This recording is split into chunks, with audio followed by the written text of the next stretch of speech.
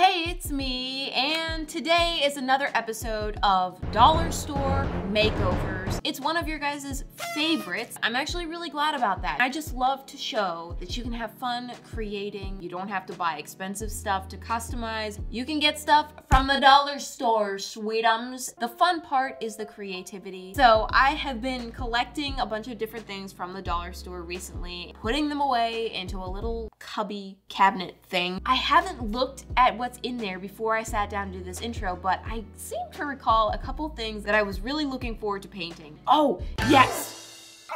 I remembered one of them that I really want to do today. Let's get into the dollar store makeovers. Okay. Oh, that was way too loud. So the first dollar store items are these clips. Believe it or not, these are actually what I was remembering in my mind when I got really excited. Remember this face? Looking at them now, uh, they honestly don't seem all that exciting. Maybe not worthy of this face, but of course I'm still interested in painting them. They're just cheap looking chip clips. Hold on, no! Multi-purpose clips for food storage, small toys, and craft supplies. I have craft supplies. Oh, and also paper files. There's three in the pack, orange, pink, gray. A very random grouping of colors. Let me take these out of the packaging, or off of the packaging, who cares? I think these are supposed to be cats, yet they clearly have bear ears. Oh no! I'm not fully enjoying that. It makes me slightly uncomfortable, as does that.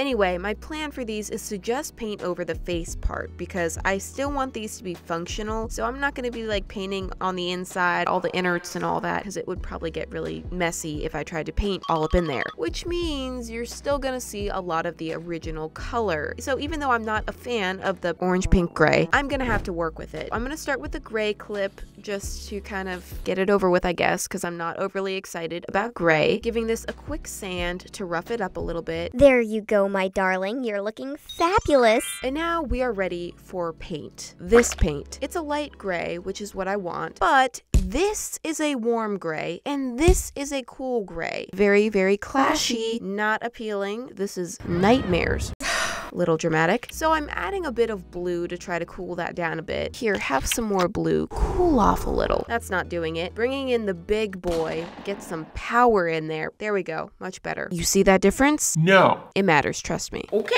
Now, I'm not trying to match these grays perfectly. If that was the goal, this would have been a big fail. I actually want the face to be a lighter version of the base color. I'm going for like a two-toned thing. A gray-faced bear was actually quite difficult for me to picture. I mean, I'm just not super inspired by that. The only thing I could think of was a gray sky bear. What? a sky bear. So I added clouds to it, and then I decided to give it a little color, so I added some rosy cheeks. This did not go well. The cheeks ended up covering the edge of the cloud, making this whole area look weird, just weird. I'm currently trying to convince myself that I like it. No, no, it's it's good. It's nice. I really like it. So I'm moving on to painting the little pink ears and drawing on a face. I made him with a sleepy face. He's a sleepy bear. Maybe when he's in a good mood, the sky is blue, but today he's having a bad day. It's gray skies for Sky. Um, there it is. Yeah, I I hate it. Why is the face so low? Why is the eye on the cheek? The cheeks and the clouds. Ugh. So off camera, I did this, trying to help, but I didn't. Then I did that. Bro, No. Finally, I came to terms with the fact that this basically just needs to be redone. I went with like little circle cartoony cheeks. I redid all the facial features, and there, ladies and gentlemen, this is the best that it got. That's it. Not a masterpiece. It's my piece. It's a masterpiece.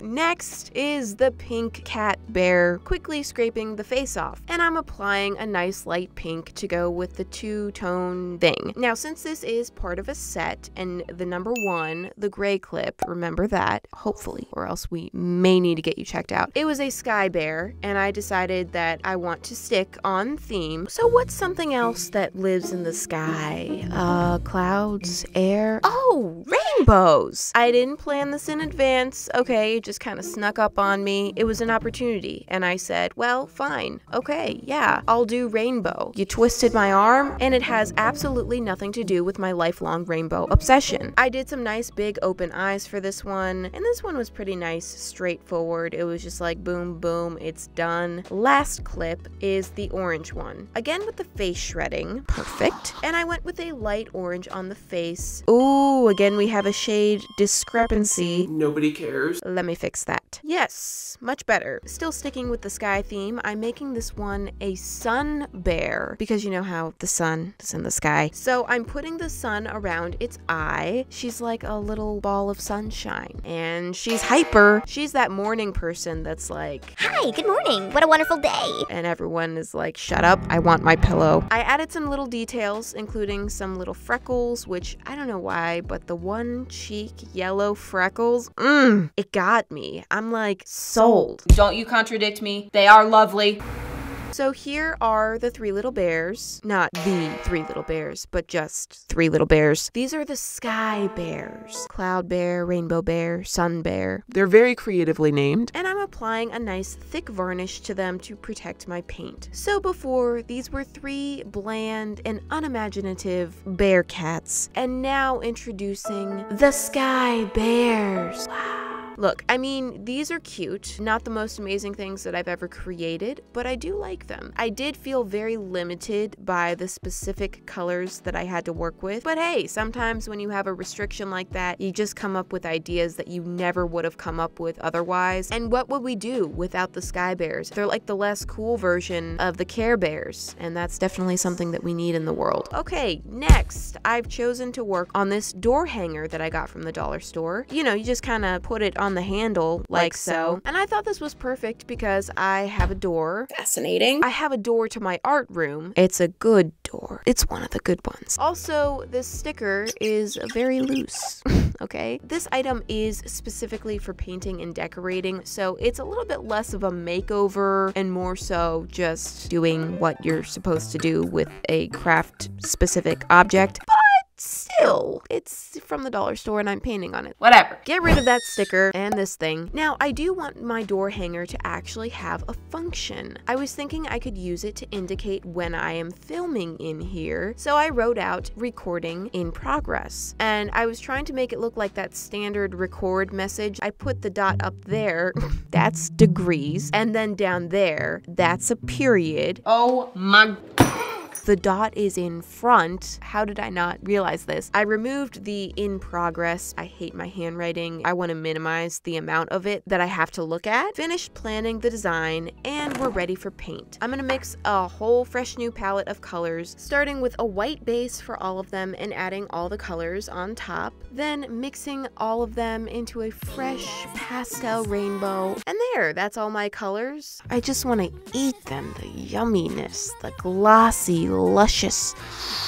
I'm honestly scared. So anyway, time to get started. And I jumped right in without thinking about it, painting the red record banner. Then I realized, idiot, the letters are supposed to be red, not the background. Dumb. So I'll have to go over that later. I did go with bubble letters instead of the standard like square letters. I just felt like they're more my style. From there, I'm jumping into the rainbow part of this. I added a rainbow paint splatter coming from behind the banner. Obviously, the typical recording message is very standard. It's plain. Recording. But I wanted to show I'm recording one of my videos. Most likely that means there's paint and rainbows. And oh, look at this. The background is turning into a waffle cone. So I need to communicate everything that's going on in here with this sign just to be polite. So this doesn't just say recording. This says recording and also painting with cutesy rainbows and possibly involving desserts. I'm going ahead and fixing up the rainbow splashes and also going over the red letters to neaten all of that up. I added a few little shadows to the rainbow paint and then this red record circle. It was calling to me. I could not resist turning it into a cherry. I know, I know, it's not supposed to be a cherry. And now it almost like distorts the message here. What does that say? Cherry wreck? I don't know what that means now. Finally, I'm adding sprinkles to it. I can't dare to deprive you all of the sprinkle song or you will just have an absolute fit.